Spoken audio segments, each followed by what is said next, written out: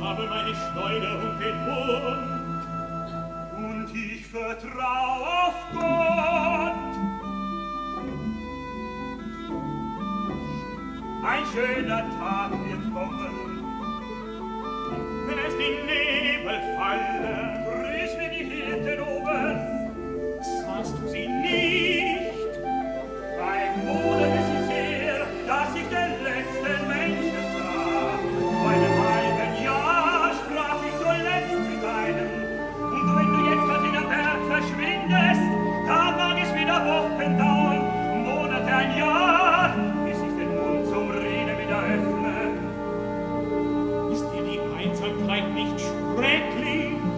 Ach, herrlich ist mir, ich träum des Nachts und träum des Tags und fühl mich glücklich, gibt's ein anderes Glück. Mein Vater unser, bitte vor dem Schlafen hin, das erste bitte für die Welten, ich kann sie nie, doch oben rechts und links von Gottes Thron,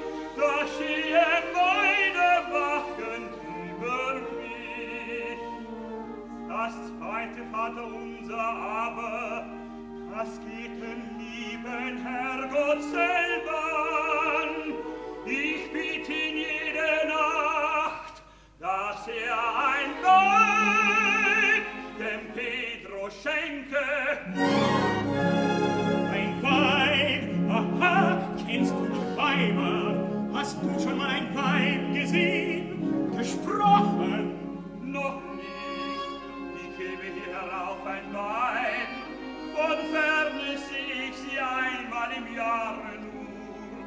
Wenn ich ins Tal hinab zur Kirche geh, ich denk mir aber, dass wenn Gott nur will, ich auch einmal zu einem Weibe kommen werde.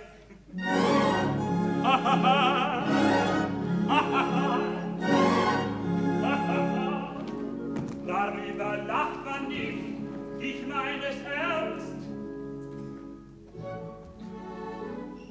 Wie ich nun gestern Abend in der Hütte liege und mit dem ersten Vater unser fertig bin, fang ich das zweite an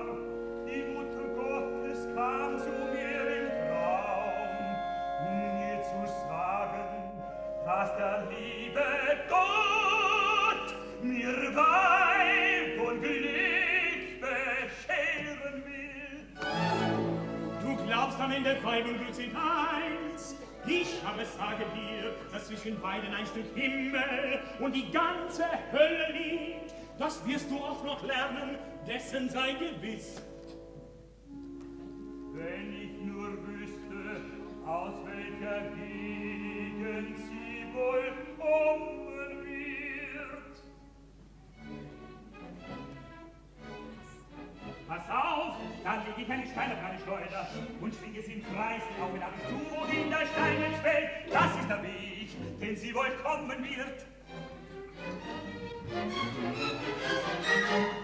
Verfluchte Kerle, Sehnte ich das Menschen kommen, beinahe hätt mich der Kieselstein getroffen. Es kommt Besuch, was kümmert's mich? Zu mir kommt niemand. Der Herr ist es, Herr Sebastiano, kennst du den Herrn nicht? So weit du schaust, ist alles sein. Die Wiesen, Mattenfelder, die Herdenhütten, Wald und Fluss, das Dorf da unten und die Mühle, Alles, was du dir denken kannst, ist sein. In seinem Dienste stehen wir alle, alle, die Hirten oben und die Hirten unten. Der mit ihm geht, das ist der Älteste aus unserem Dorfe. 80 Jahre trägt Tommaso schon auf seinem Buckel. Zu meiner Hütte geh ich, wollen die etwas von mir, so sollen sie mich holen, Und mit den beiden geht ich irre nicht ein Frauenzimmer. Was soll das bedeuten? Am Ende hält der Herrgott fort und schickt ein Weibchen für den Pedro.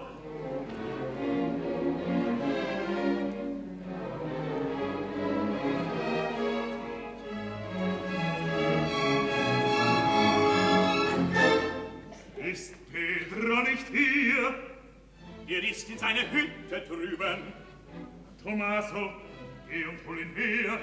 Du aber, bring uns Milch und Brot und Käse. Der Weg war weit und ich hab Hunger. Schleppt ihr mich hierher? Weil es mich freut und dann, mein Kind, hab ich einen Plan mit dir. Sagt mir, Herr, wo ist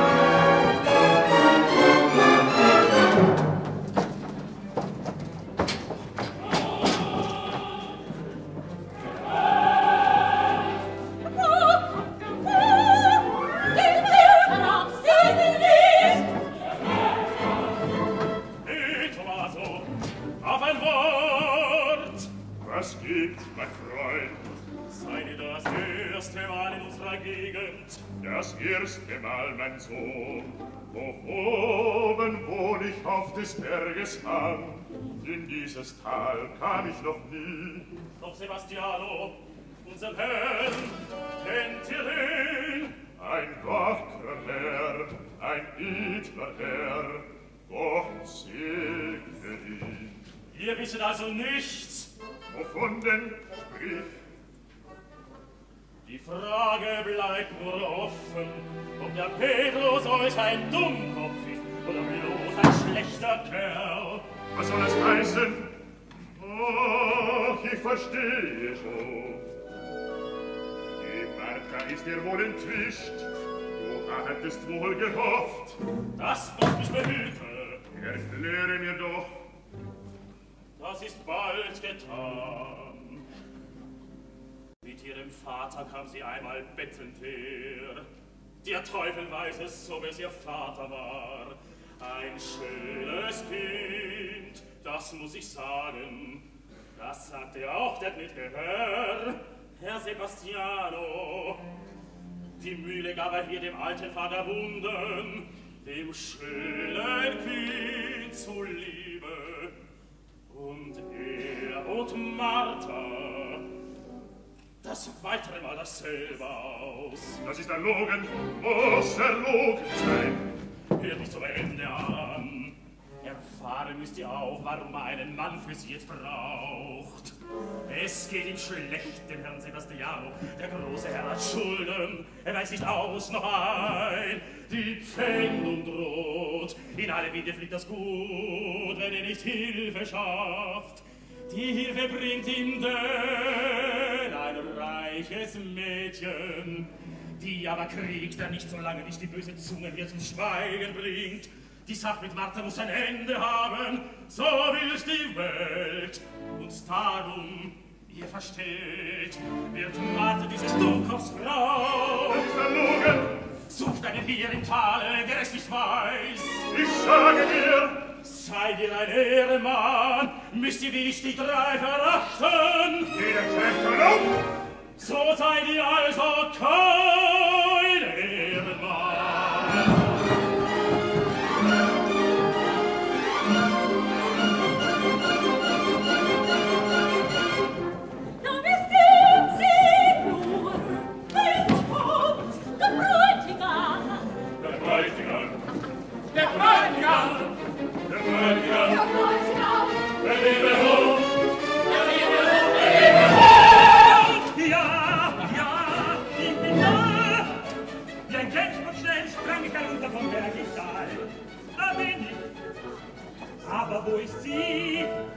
striscezze del grot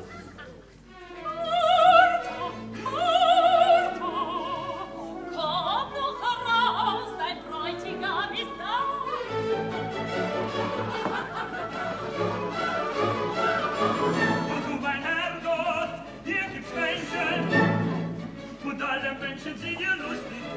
Man könnte was glauben, wir heiraten alle. Kennt ihr die Martha, nicht wahr?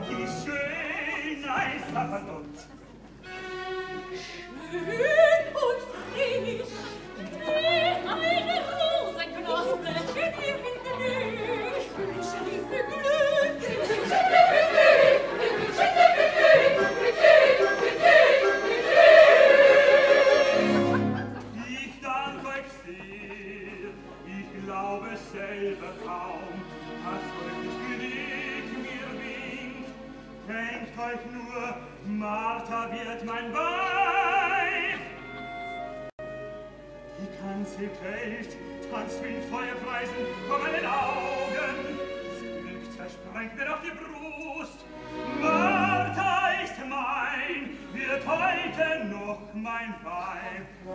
Wen konntest du glauben, dass Sebastiano, wenn du neugierig bist, so frag doch den Herrn Sebastiano, Frag wenn er kommt. Ich, ja, er kommt.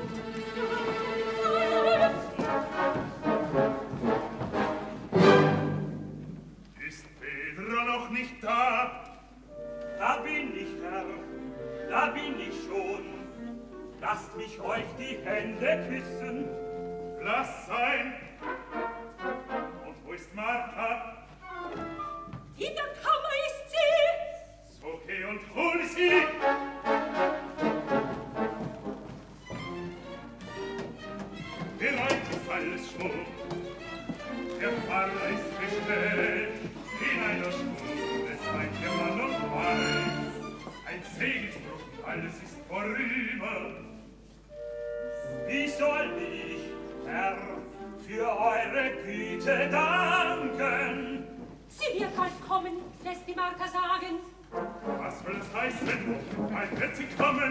Sie muss sofort zur Stelle sein, wenn ich sie rufe.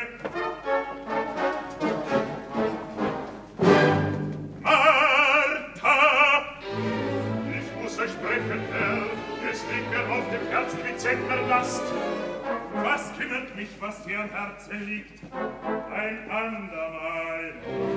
Es geht um Seelenheil, gleich muss es sein.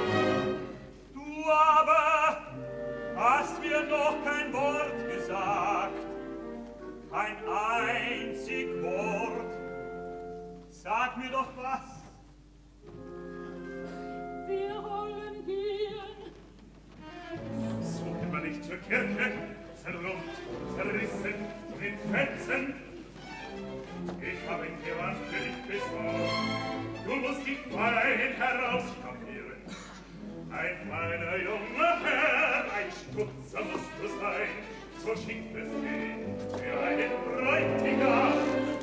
Ein feiner junger Herr, ein Stutzer ein feiner junger Herr, ein Stutzer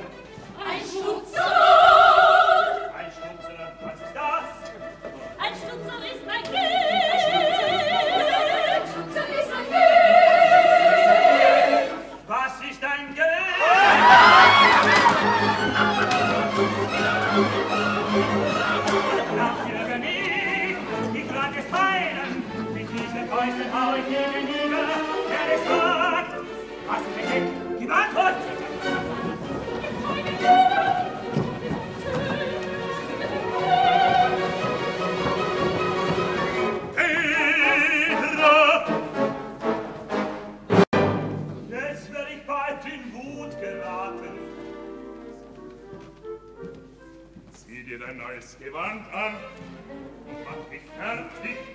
Ich seh den Fahrer kommen. Kommt alle mit, helft mir mich schmecken. Wir wollen lachen und lustig sein. Heute ist ja ein Ehrentag, ein Freudentag.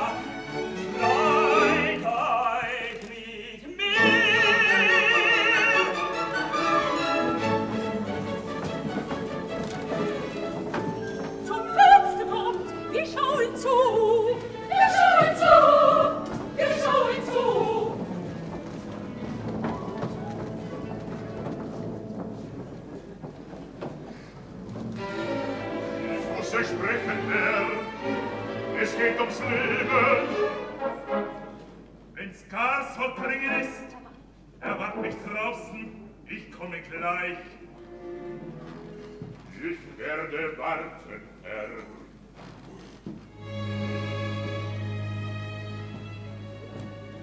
Ehrwürdiger Herr, hier kommt das Brautpaar zu holen. Ich habe noch mit der Braut zu sprechen.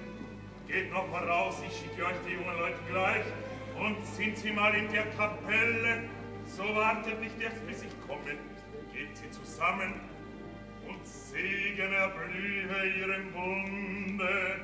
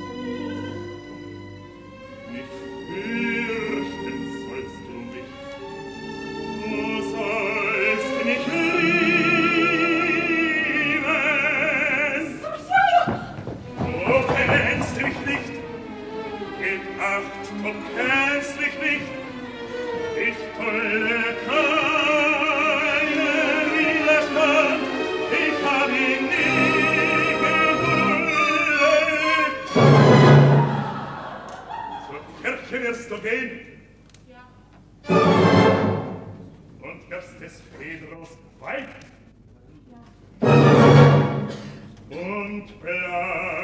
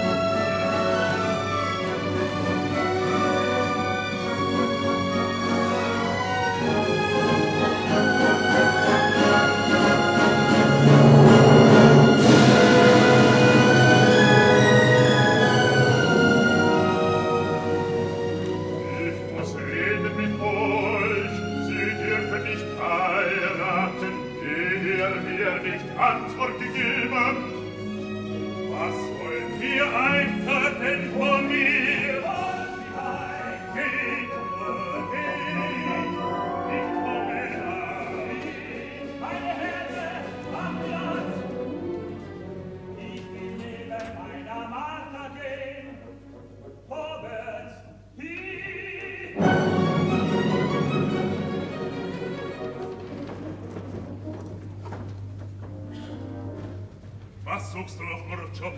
Kannst du nicht auch zur Hochzeit gehen? Zu dieser Hochzeit gehe ich nicht. Warum nicht? Lass hören. Ich will nicht. Das muss euch genügen. So muss es dir, genügen, wenn ich sage. Pack dein Pinden und mach fort. Das tue ich gern. Und was willst du? so sonderbares war hier erzählt von euch und Martha, und ich kann's nicht glauben. Es wäre ja ein Betrug am armen Pedro, der keine Ahnung hat von all den Dingen. Was kümmerst du dich, Alter, um solche Sachen? Die Leute schwatzen, lass sie schwatzen. Kein Wort von alledem ist wahr. Ich darf mich gleich, Arleiter, du, du Schaft, du Lügner. Der also war's. Mach Holz an dich, hinaus mit es, sonst gibt es Prügel. Ich jage dich wie einen Hund aus dieser Mühle. Mich, ich möchte doch sehen, ob ihr recht habt. Um Mit deinem Herrn machst du so zu reden. Mein Herr, er ist nicht mehr. ich wollte mir das nie gewesen. Hinaus! Ich gehe schon, doch ich gehe, will ich dir von Tomase noch die Wahrheit sagen, damit er wisse, wer von meinen hier der ist. Der Schutz sei dir. zu Martha in die Kammer schlicht. Glaubt ihr, ich wüsste es nicht, warum ihr die Martha zwingt, dass ihr für dummen Kopf nimmt. Die Wahrheit red ich, hier heb ich die Hand und schwör's bei meiner armen Mutterseele, dass ich die Wahrheit rede, auch eure Mutter hielt die Grab, so schwör gleich ihr, wenn ihr's wagt. Hör nicht auf ihn, heilige Jungfrau, hilf, du bist mir klar, es darf nicht sein, laute Kapelle und sagen Nein. Die Glocken läuten, ach, es ist zu spät. Was habt ihr getan? Wehe über euch. Geschehen ist geschehen. Beruhigt euch und gute Nacht. Unser Gott, verzeihe mir die ungewollte Missetat. Ich will, kommst du mit, ich geh hinauf, in meine Berge geh ich wieder, wo ich den Himmel seh und grüne Wiesen und Kampf.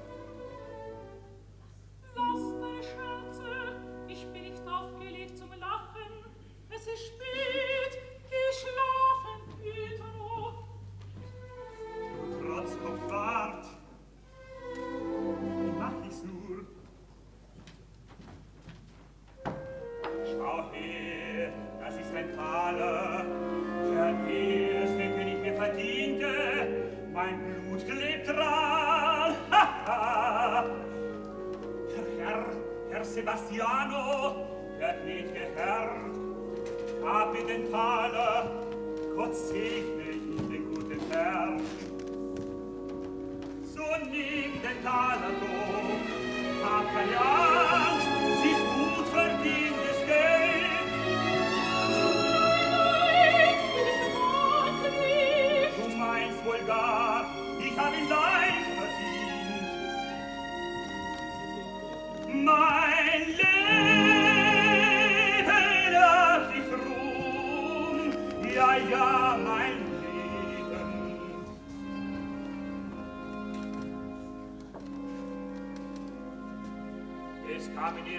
ein Wolf in unsern Stall und holt sich ein Böcklein, den besten Hund zerriss Zum Rasen werden war es, ich war verzweifelt, war ganz krank vor Ärger. Und ich sagte mir, der Wolf erleg und kostet es mein Leben, so leg ich mich denn Nacht ins feste Stein auf die Lauer und wart auf ihn, der Schlaf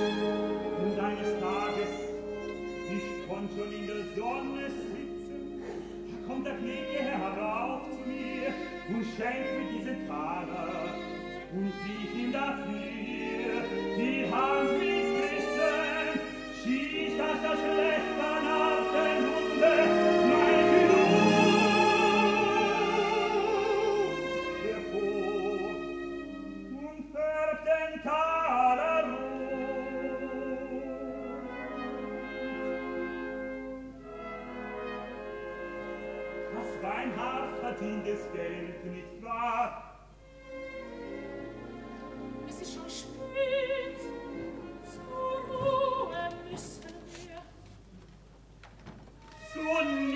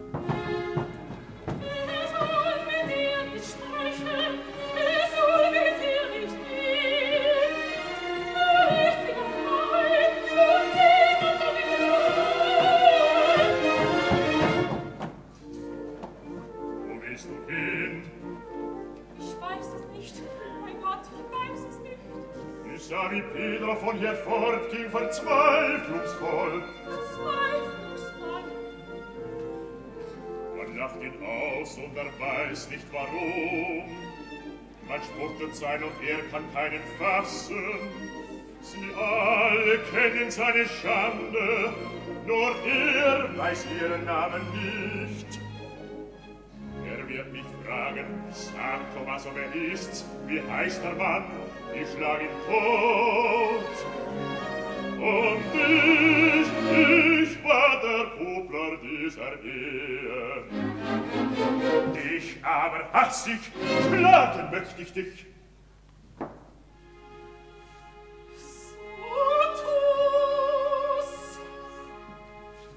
nun weiß ich, was du bist. Du bist eine... Die rief mich schlagen, doch beschimpfe nicht. Sagt mir, Tomaso, hat die kein Kind. Ich hat eine Tochter. Ihr Himmel nahm sie mir.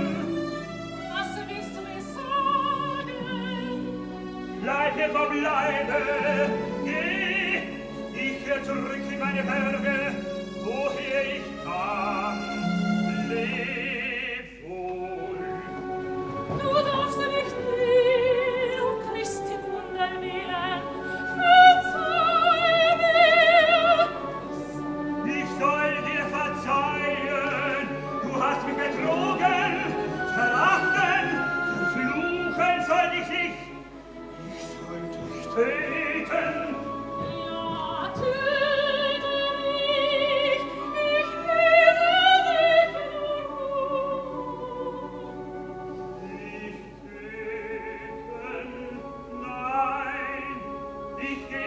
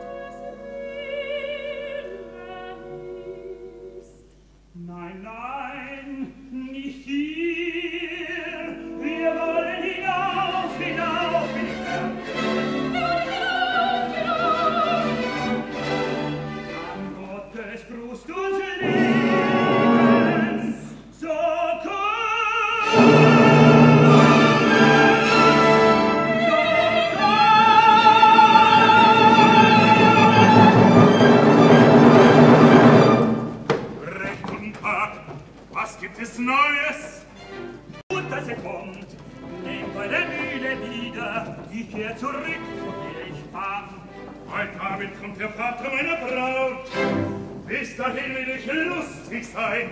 Ich sah dich lang nicht tanzen. Tanz mir was vor. Ich spiel dir auf.